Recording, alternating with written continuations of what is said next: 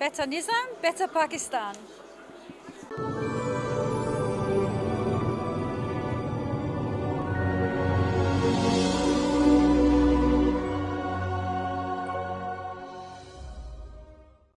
Hi, how are you? Good, thank you. Uh, we are here to ask you about your project. Uh, it's uh, immigration for Cyprus. There are so many people in Pakistan who would like to know exact location where geographically uh, this is, uh, country is located and uh, what are going to be the facilities for the people who are going to be immigrated and after the investments. Okay, well, um, thank you for inviting us anyway. Um, the program is all about Cyprus immigration. Cyprus is um, a country in Europe.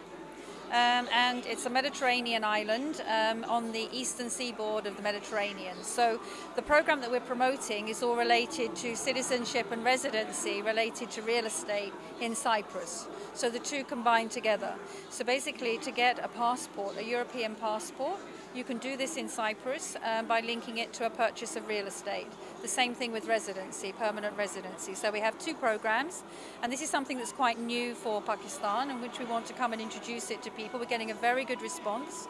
Um, people are interested in looking for the ring fencing the future of their generations, uh, their children. Um, they're looking maybe for safety, security for their families, um, or they're looking just for easier travel, easier trade. So there's lots of additional benefits um, that can be taken from the program. So I don't know if you want to explain that a little bit more detail. This is our partner in um, in Pakistan. Right. Basically, we are a property developer in Cyprus, and we are the ones that are providing the real estate solution. Um, our son here is um, an immigration lawyer based in Lahore, and he is um, specialising in immigration um, across the world. So we work together in partnership to be able to provide a service to Pakistan clients in processing their applications and providing them a real estate solution. All right. Uh, we have, uh, like, uh, for example, I would like to think about uh, taking this opportunity. Then the first thing I would like to know is that uh, uh, what is the weather conditions over there, what kind of business or jobs I will be able to do and stuff because this is the right time we can, you know, explain to so many people that what exactly are we going to provide through your services. Uh, so that when people go from here, from uh, after the immigration, uh, so many people have traveled to Canada. But when they arrived over there, uh, most of them they had issues with uh, finding jobs and stuff. So many people entered so quickly over there, and then there was a lot of issues for some, most of them. Many people came back and started their career back in Pakistan. So how is it there? Uh, what is the maximum temperature, minimum temperature? And uh, what do you think about the jobs over there? Do you think it's easy to find the jobs? Okay, well, there's two, two, two things. One is about the country, and one is about the actual the work environment. Yes. So, if we talk about the country first and, and climate and as a place to live, um, Cyprus is actually the safest place in the world to live for smaller populations.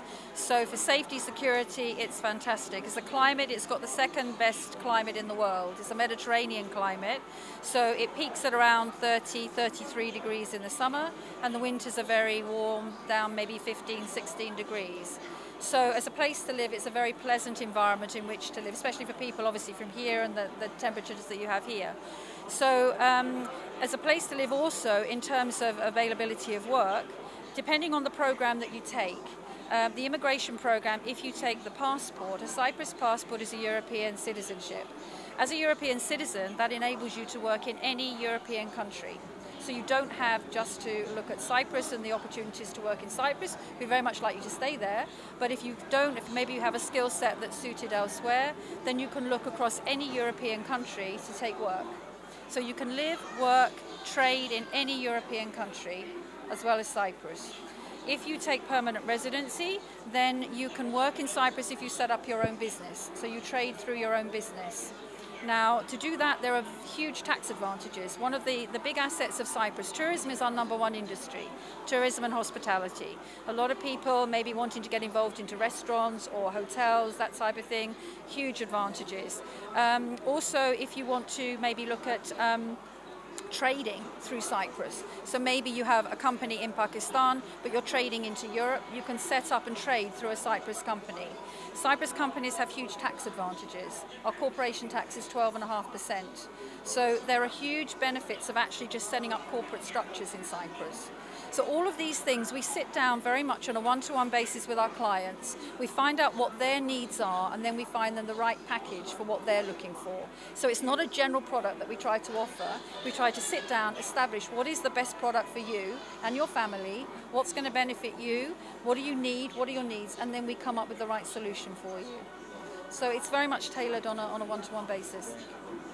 And boss, uh, what would you like to say uh, to the people in Pakistan about? Uh, I've seen. I was looking at the videos.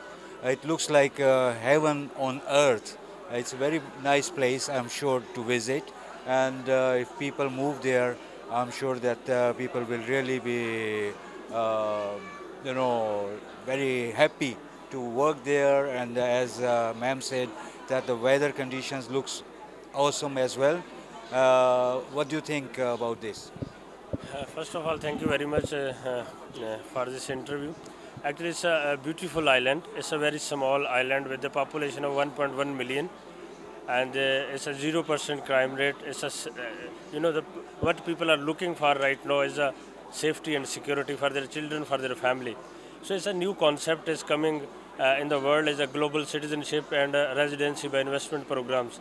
These programs are for those people actually who, who don't uh, want to live uh, in any country but they want to get a second citizenship or residency for their family, for their children, for their education and uh, they can go there, they can live there, they can edu uh, get education and they can come back. So it's a very good, like a new concept to invest in another other country, like a European, this is a European country, and uh, to having all these benefits from the, the this particular country. So I think so it's a very good uh, programs. These are very good programs and people are getting more and more interest in this.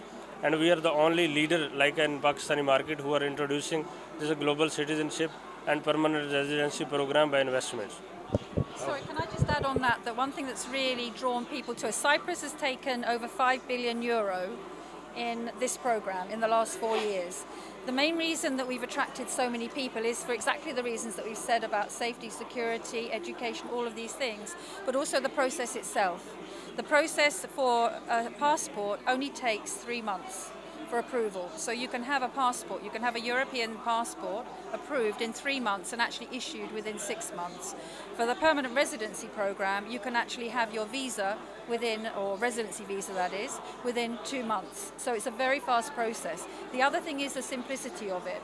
We don't ask for, with a lot of requirements in like Canada and other countries, they have language requirements, they have educational requirements.